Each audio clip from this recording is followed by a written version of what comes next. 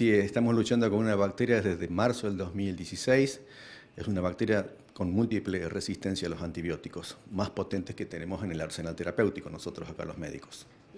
¿De qué bacteria se trata? En este caso la que más produce esta resistencia es una bacteria que se llama Klebsiella.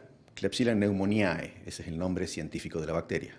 Bien. ¿Esta bacteria qué produce, qué, tipo de enfermedad y cómo llegó al hospital? Creemos que llegó al hospital de un paciente eh, procedente de un geriátrico de Santa Fe. Creemos, no lo podemos confirmar del todo, pero llegó ese paciente y, y empezó a aparecer esa bacteria preferentemente produce síntomas en pacientes hospitalizados, hospitalizados con larga estancia hospitalaria, que tienen comorbilidades. Comorbilidades son aquellos pacientes que tienen, por ejemplo, cardiópatas crónicos, eh, problemas pulmonares crónicos, insuficientes renales, pacientes con cáncer.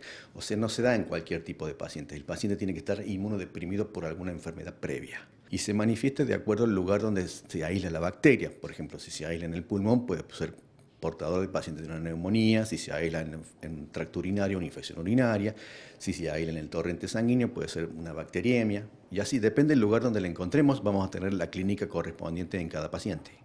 Es una bacteria muy complicada que se transmite por contacto, es muy pegajosa, digamos así. Los, los, médicos, los enfermeros que atienden este tipo de pacientes tenemos que estar aislados con bata y guantes correspondientes para no llevarlas a otro paciente que atendamos en, ese mismo día, digamos, en ese mismo sector del hospital.